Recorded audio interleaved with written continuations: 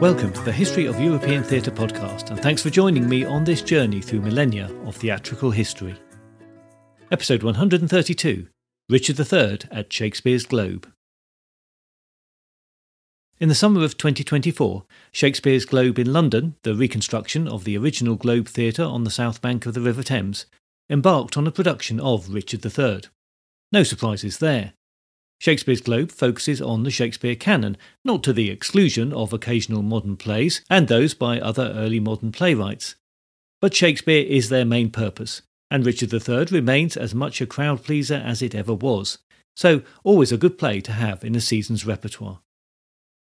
As I was rapidly heading towards the play myself on the podcast, I decided to take myself off to Shakespeare's Globe and be a groundling for the afternoon. I picked a spot at one corner of the stage and settled in for the play as best one can when standing on a hard floor.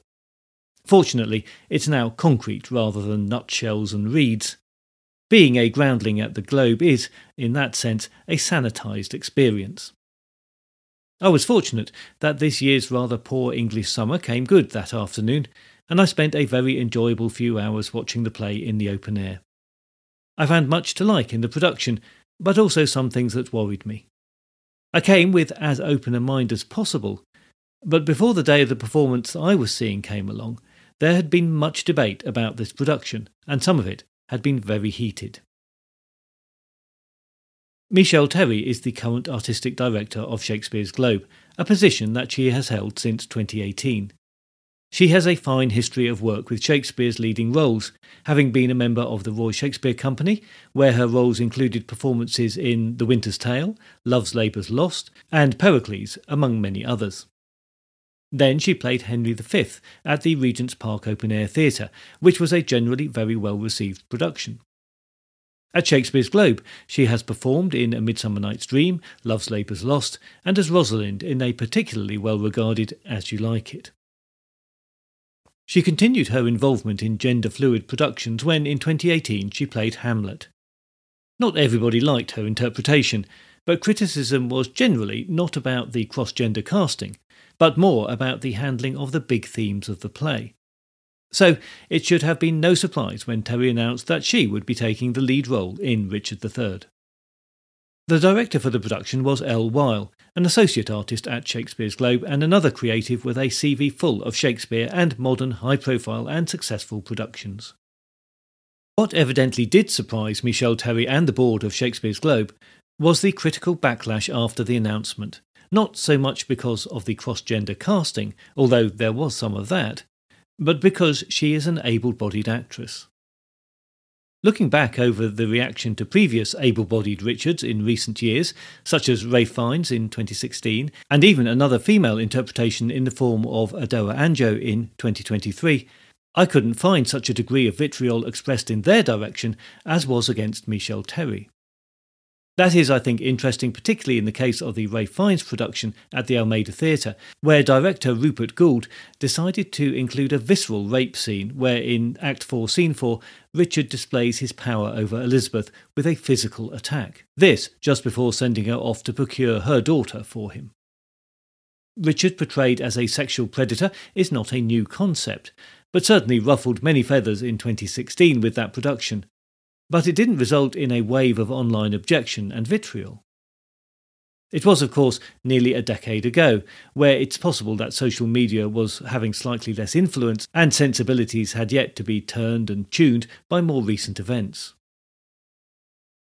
Bearing in mind that at this point nobody had seen any element of the production apart from a publicity still that showed Terry sitting with an arrogant expression on a throne and with a sketched in crown slipping off her head, there were assumptions being made about the level of deformity that she would choose to portray. For many, particularly those with only a passing interest, what is most known about Richard is his deformity, or at least the deformity that Shakespeare places on him. Over the last few podcast episodes, you have heard how it's likely that Richard, despite his scoliosis, showed little physical deformity, and that Shakespeare's interpretation is an exaggeration and nothing more than part of the Tudor propaganda of the time. At a subtler level within the play, we also have to consider how to interpret Richard's own description of himself, which he uses to justify his actions in the context of the lies he tells and the deceits that he engineers. That often broken rule of not criticising a production until you've seen it was once again shattered here. So much so that Terry and the Globe felt the need to come out and defend the production in a series of interviews that appeared about the time when the play opened. Although it is a pity that they felt the need to do that, it does give us some insight into the thought processes behind the production. And at this point, for the avoidance of doubt, I should say that in this production, Richard was played with no obvious deformity, and Terry did much energetic strutting about the stage as if to underline the point. In addition, all of the lines pertaining to Richard's look, to his ill formed body, including what he says about himself, were cut. In fact, the play was very heavily cut, to the exclusion of some of Shakespeare's best verse in the play, and to the extent that we did not even hear Richard offering a kingdom for his horse. Quite a bold move.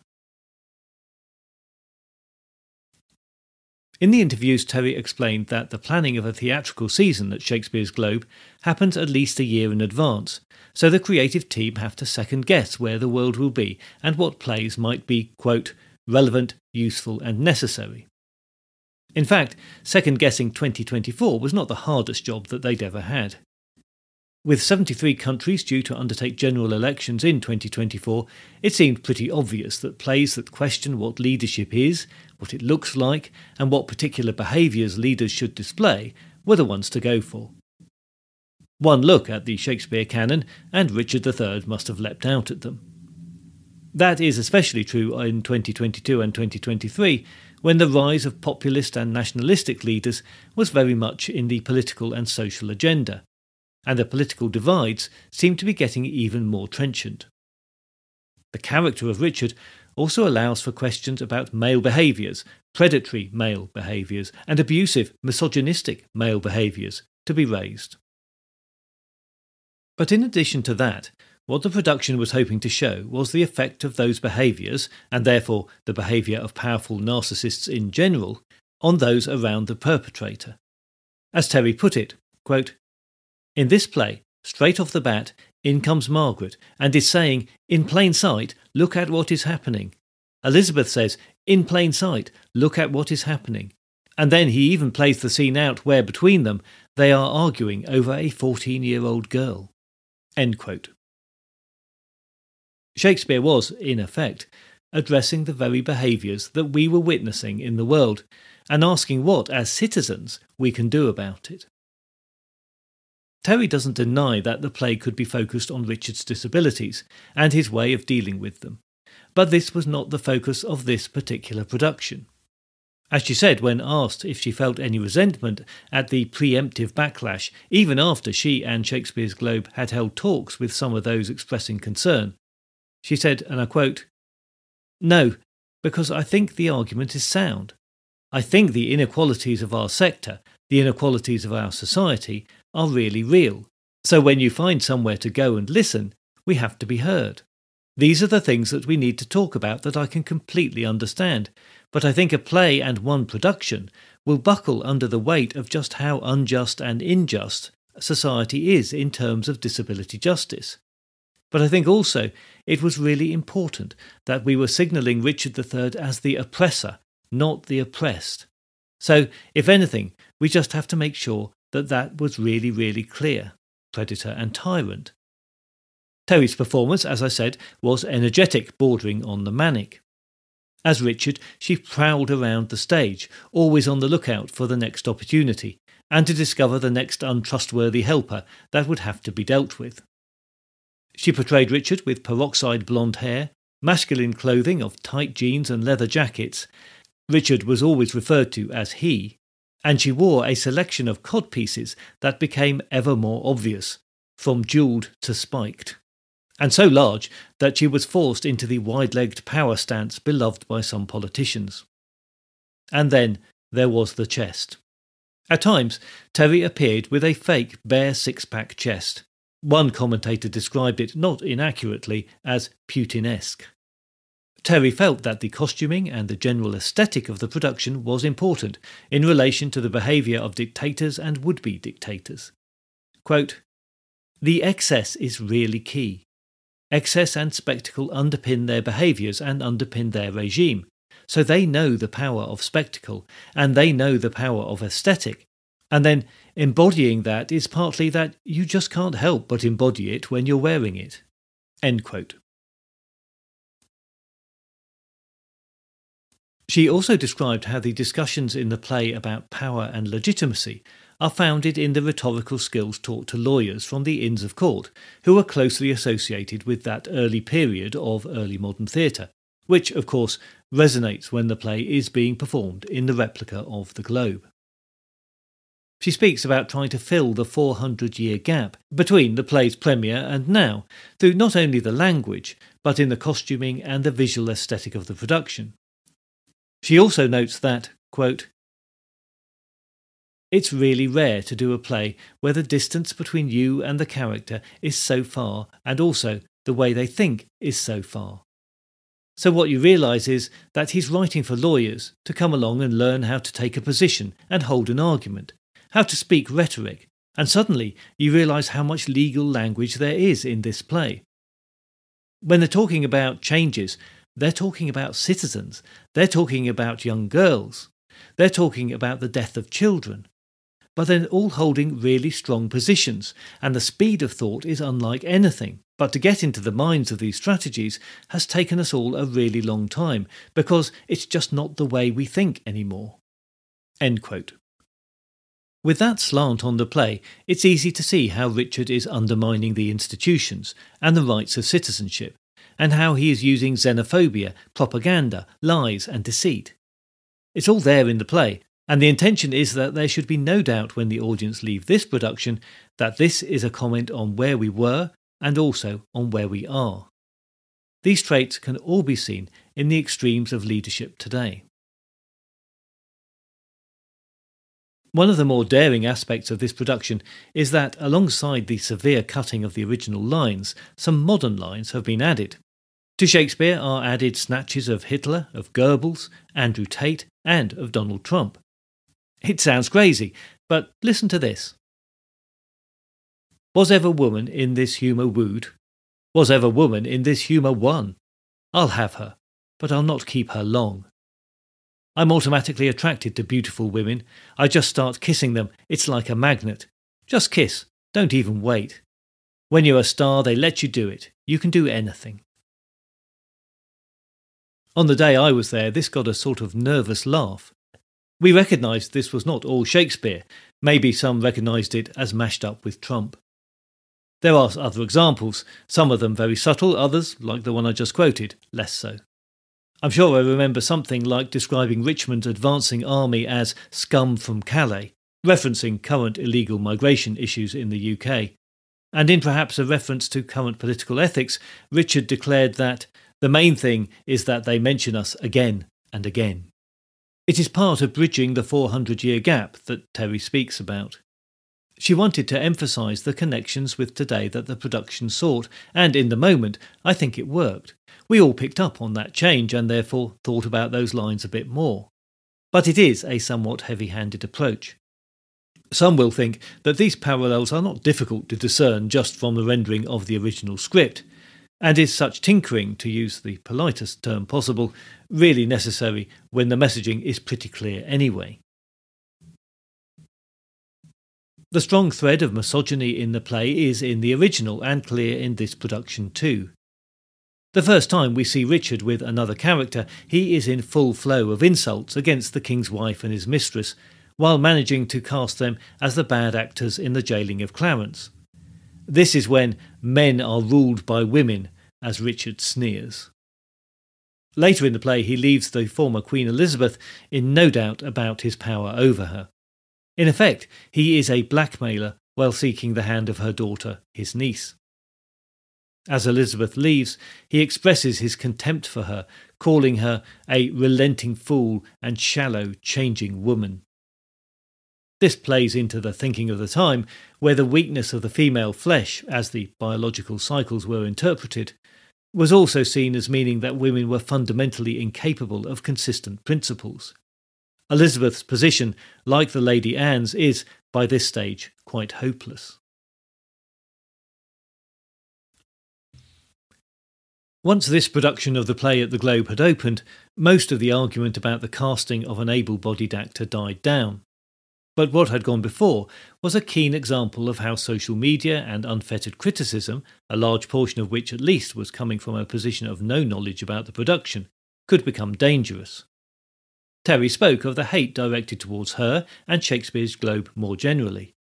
She found her duty of care towards the company of her fellow actors compromised when Equity, the UK Actors Union, issued a strongly worded statement about the casting. These few lines from the longer statement are the crux of the issue, and I quote Equity's policy is to support the casting of a deaf or disabled character by a deaf or disabled artist, with first consideration given to those artists who have lived experience of the specific disability being portrayed. The process of casting such roles should be open, transparent, and accessible. The Globe's casting of Richard III does not meet that standard. End quote. Now, I think it's difficult to speak to their position exactly, as I feel sure that it is more nuanced than this part of the statement makes it sound. But it seems to me that we get here to the heart of the argument about how far actors are permitted to act and inhabit a role that is far from their lived experience. Which then becomes conflated with a discussion about how far actors with some type of disability should be promoted into roles that feature that condition or something similar. In the case of Richard III, there have been a few successful productions featuring disabled actors, perhaps most significantly the RSC's 2022 production starring Arthur Hughes, but it's not that many. On the other hand, should we have been denied Olivier's Richard, or Antony Sher's, or Benedict Cumberbatch's, or any of the many other fine and memorable performances by other able bodied actors? Having said that, 2024 does feel like the time for a female led company to take on this story about the most male of tyrants and to give voice, at last, to the female victims of tyranny. Like no other play, Richard III shows how in Shakespeare's world the concept of tyrant and rapist was closely linked.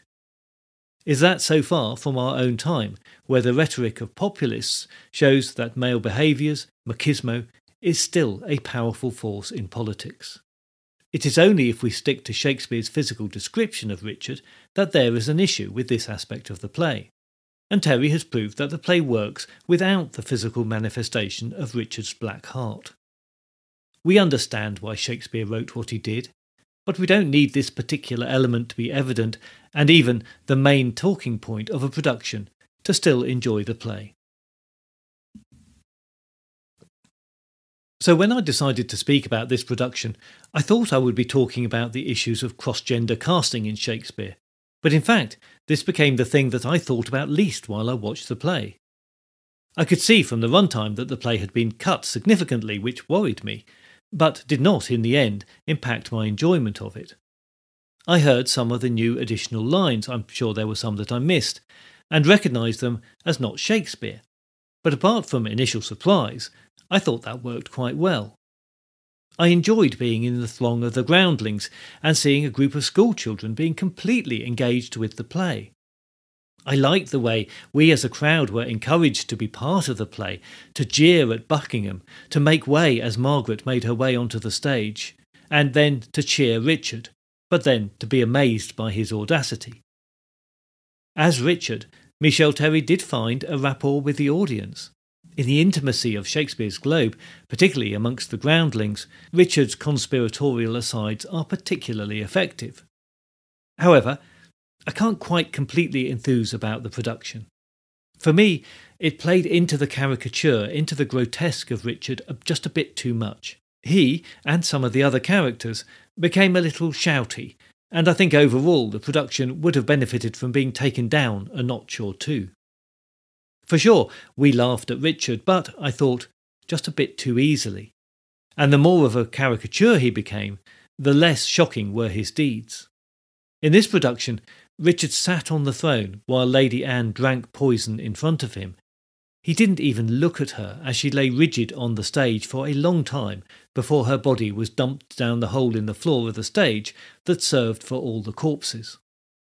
But I don't feel, and I didn't sense around me, revulsion at this truly horrific act that it undoubtedly was.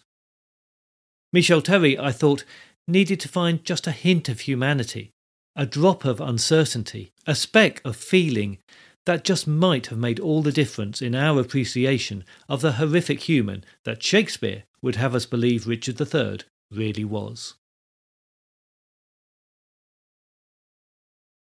Next time, after all this dark history and problematic kings, things get a bit more light-hearted with a bit of comedy. Ah, but it's another play where modern sensibilities clash with the early modern mindset, and Shakespeare once again confounds us with his portrayal of the power relationships between men and women. Join me next time for Shakespeare's most controversial comedy, The Taming of the Shrew. In the meantime, please join the Facebook page or group or find the podcast on Instagram or X just to keep up to date with new episodes and other theatre related things. If you do feel able to help out with the cost of running the podcast, then please head over to Patreon, where you will find additional content for a small monthly fee or a one off donation. You can find details of ways to support the podcast in other ways at the New Look website, which is www.thehistoryofeuropeantheatre.com. I look forward to your company next time, but if you do have any comments or concerns in the meantime, you can contact me by email at thoetp at gmail.com or via X at thoetp.